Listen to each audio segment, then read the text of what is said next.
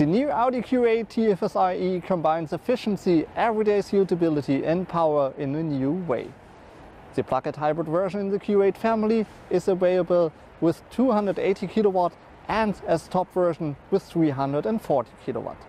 The electric range is up to 47 kilometers in WLTP or up to 59 kilometers in NEDC.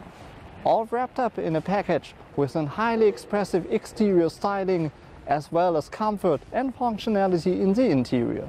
The Q8 TFSIe therefore fits nearly between the TDI and TFSI driven models and the sporty SQ8 TFSI. With it, the Q8 family is finally complete. The plug-in hybrid version of the Q8 family is made for people who do not want to compromise between sustainability, electric range, everyday suitability and driving dynamic. And its coupe-like exterior styling delights those who appreciate a very expressive design language.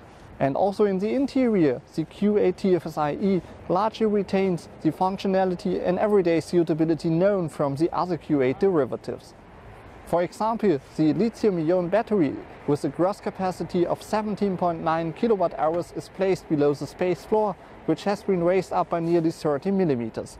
The trunk volume is 505 up to 1,625 liters. The Q8 alone is a highlight by itself in my personal point of view. But if you ask me just to pick up one feature out that amazes me, it would be its performance. Especially the Q860 TFSIe Quattro convinced with a high standard equipment, for example the S line exterior and the S line Sport package comes as standard equipment with this model, but also with a lot of power. We have a system power of 340 kilowatt, which means 462 horsepower, and the 700 newton meter of torque is delivered to all four wheels because quattro all-wheel drive is also a standard equipment. But also the Q855 TFSIe is a very convincing offer as well, so you will find this model for example on the founding program of the German BAFA.